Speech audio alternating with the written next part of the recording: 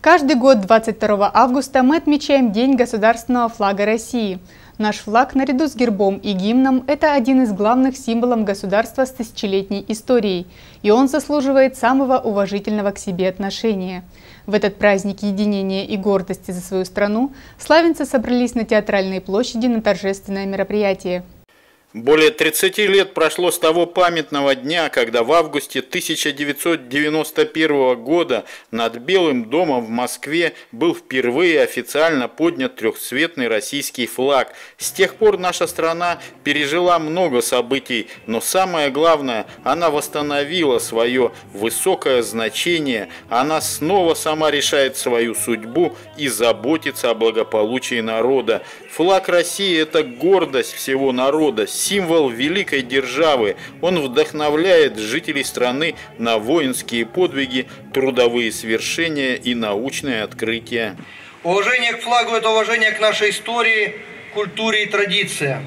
Сохранение гражданского мира и согласия. Российский флаг знают во всех уголках планеты. Под государственным флагом наша страна уверенно идет по пути созидательного развития.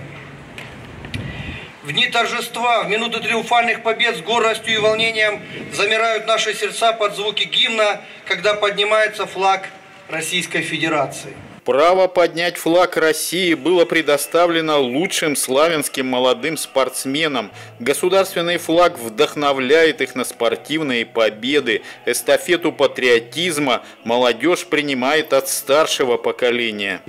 Быть патриотом – это не только любить Родину – это сопереживать, это быть за нее горой, это защищать свою родную мать Родину. Флаг, государственный флаг, один из символов нашей Родины. Трехцветное полотнище, которое обозначает чистоту наших помыслов, широту, как необъятное небо нашей души, наше горячее сердце. Искренне и сердечно поздравляю вас с этим праздником – Будьте достойны подвига наших предков. Будьте полны планов. Идите только вперед. Славянская молодежь старается отлично учиться, занимается общественной работой. Им есть кем и чем гордиться. День государственного флага Российской Федерации – это также праздник свободы. Я считаю необходимым отметить, что свобода исходит из души каждого гражданина Российской Федерации – это то, что у нас не отнять, ровно так же, как и любовь к родине. Поэтому, стоя здесь, перед лицом старших и перед сверстниками, я могу с ответственностью заявить, что здание государства, возведенное предыдущими поколениями, переходит в надежные руки молодежи. И я горд являться ее частью. Славянские артисты, поддерживая праздничное настроение, порадовали своим искусством всех собравшихся. Шаг, я поднимаю свой флаг. Сквозь злые ветры дымов и неверие царства. В этом бою я в я верю в правду свою. И поднимаю свой флаг моего Главными действующими лицами торжеств стали славянские учащиеся и студенты, которые приняли участие во всероссийском флешмобе «За флаг», выстроившись на площади в виде буквы «З». Юноармейцы развернули здесь же огромный российский флаг. Все были очень рады участвовать в торжественном мероприятии. Этот праздник значим для меня, так как я показываю то, что я горжусь своей страной и уважаю ее. И я думаю, то, что молодежь тоже к этому, э, тоже этим гордится. Э, также я бы хотел связать свою жизнь с военным делом.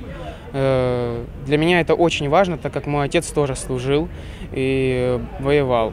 Поэтому этот праздник очень важен для нас. Флаг России – это наша общая история, настоящее и будущее. И то, каким будет это будущее, зависит от каждого из нас – Чувство глубокого уважения к флагу у славянцев воспитывается с детства. Я горжусь, что проживаю в этой стране. Я проживаю в Славянске на Кубани. Это мой родной город.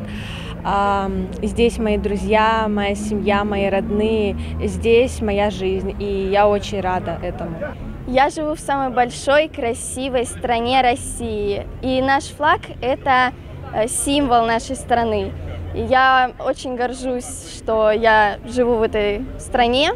И я считаю, что у меня есть отличное будущее. Поэт не случайно сказал, и красота, и сила в российском флаге есть. Он государство, символ, достоинство и честь. Наш флаг был и будет все время с нами в трудовые будни, а также в дни праздников и побед. Андрей Вишневский, Дмитрий Волошин, программа «События».